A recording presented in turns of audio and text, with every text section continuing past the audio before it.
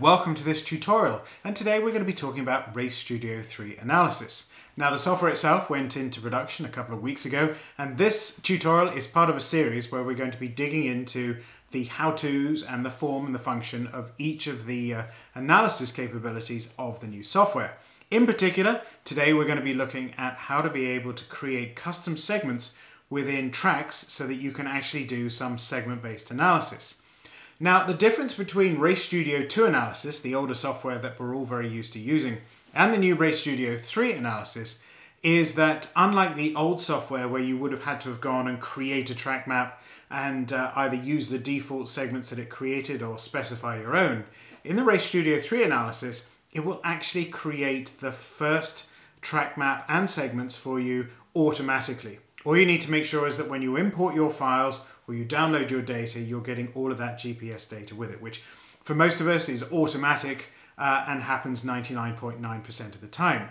To know you've got that GPS information, one of the things that you can use to be able to make sure, and let's switch to the software to be able to see, is that if you're in the uh, test database or the uh, library of files that you have, just click on this button here. And one of the things you'll notice is if you have this map, and it also has uh, an overlay on the uh, GPS uh, software. Here it's using an overlay on top of Google Earth. You know that they've got that GPS information is available with the file, so it should automatically create the segments for you.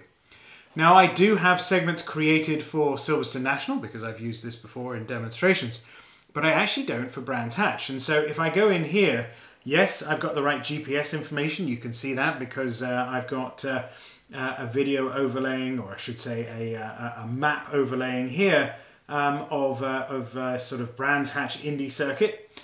And so what I'd like to do is I'm going to open that up. And when I do so, uh, we're going to use the um, uh, time distance that we created earlier, where we've got our GPS latitudinal or longitudinal information. But one of the things you'll notice here is that you've got these segments. I didn't create these, these were created automatically by AIM, and they usually represent an element of the track which um, is either green is a straight, blue is usually a right hand turn, and red is usually a left hand turn. And if we click on any of these particular areas, we can see that this is Graham Hill Bend, and so that's a left hand turn. We can see that this, for example, is Druids here, so we can see that's a right hand turn. And so the system has automatically created those segments for us. But what if we want to be able to customize this for ourselves and we want to be able to specify what those segments need to be that work for us?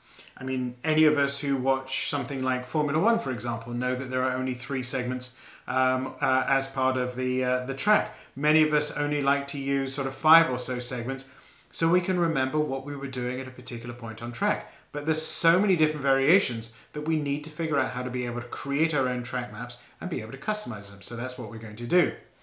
Now, what I'm going to recommend to start off with is that uh, you don't actually edit any of these segments that have been created. The reason being is that you may always want to be able to go back to that default setup that AIM created, which was straights, rights, and lefts. To be able to clone this or to create a second version, you're going to click on this button here that says choose a track map.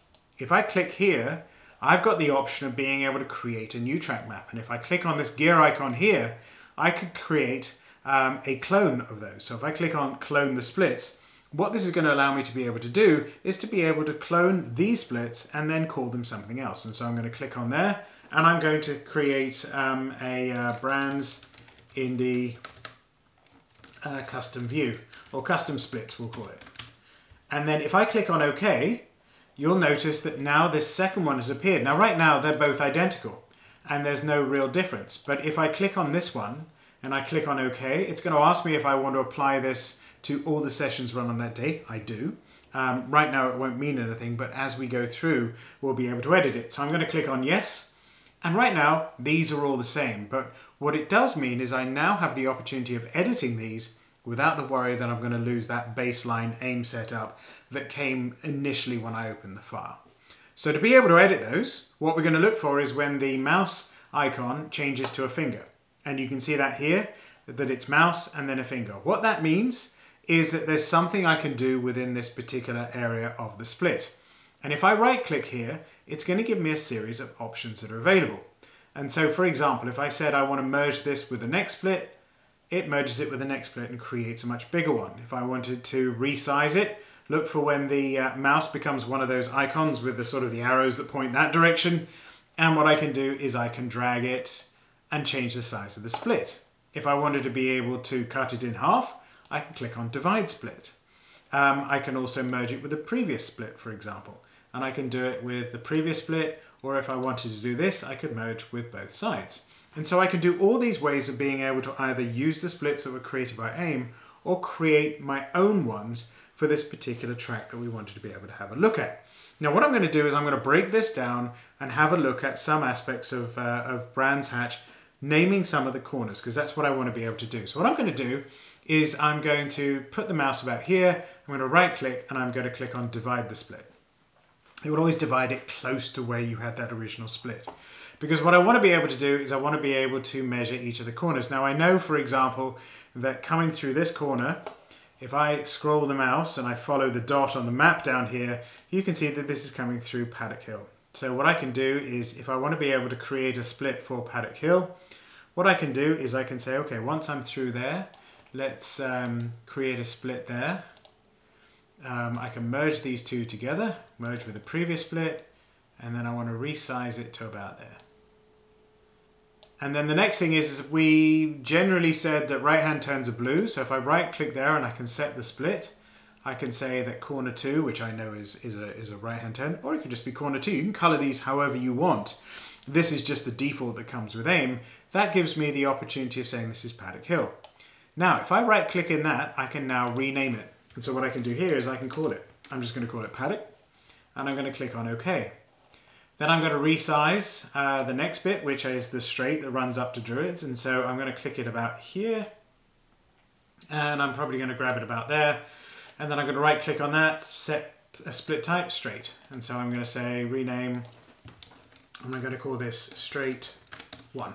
Now, if you've got multiple straights, you cannot call each straight straight as it is because you cannot have two segments with the same name. So I'm going to call each of the straights a different particular name. So I'm going to right click here and I'm going to bring this one um, to uh, uh, sort of, uh, this is going to be um, Druids, so I can bring it here. So I can right click here, set split type at, Druids is a right hand turn, right click, rename, I call this one Druids. And then what I can do is I can rename uh, this one and I can say this one is uh, Graham Hill. Um, I can right click on this one, rename it and call it straight 2. I can rename this one. I'm not going to change the size of it. I'm going to call this one Surtees. I'm going to rename this one and I'm going to call this Clearways.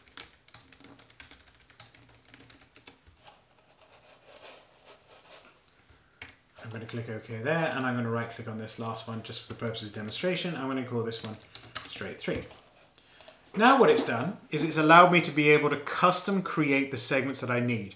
I could have 10 segments, I could have 5 segments, I can choose where they need to be based upon what my particular requirements are going to be.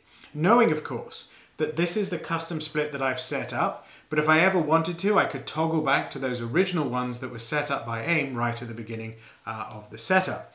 Now, the reason that this is useful, and we're going to get into this later in some of the other demonstrations, is by having segments whether they're named. Now remember, if you're in the US, for example, where corners aren't named as much, they're more uh, associated with corner numbers, um, then you may just have corner 1, 2, 3, 4, 5, 6, 7, 8, 9, 10, or however many you have.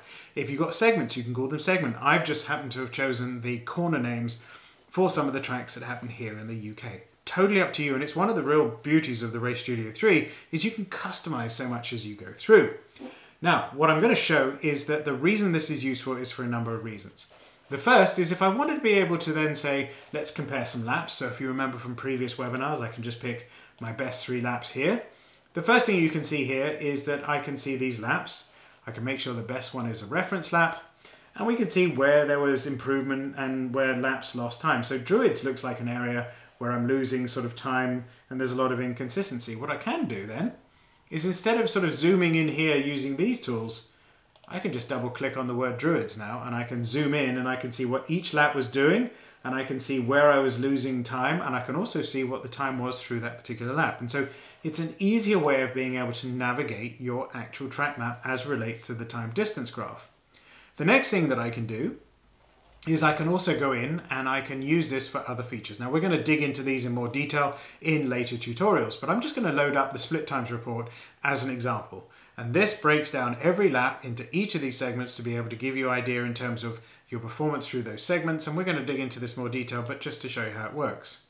And so if you remember on the time distance, these were the segments we created. Now if we go into the split times report as an example, you can see they're all represented here. So we can see the performance for each of those. We can see the track map is now representing each of those segments we've created. So it's totally customizable and you can do so much with each of the particular segments that is there. So with that, I'm going to end this tutorial and we'll move on to other areas where this segment analysis is going to be useful. If you like this video, please give it a thumbs up. Um, please subscribe, it would be lovely because you're going to get lots of videos like this throughout the whole of the year as we really dig into the Race Studio 3 analysis software. And with that, it just leaves me to say thanks so very much for watching this video.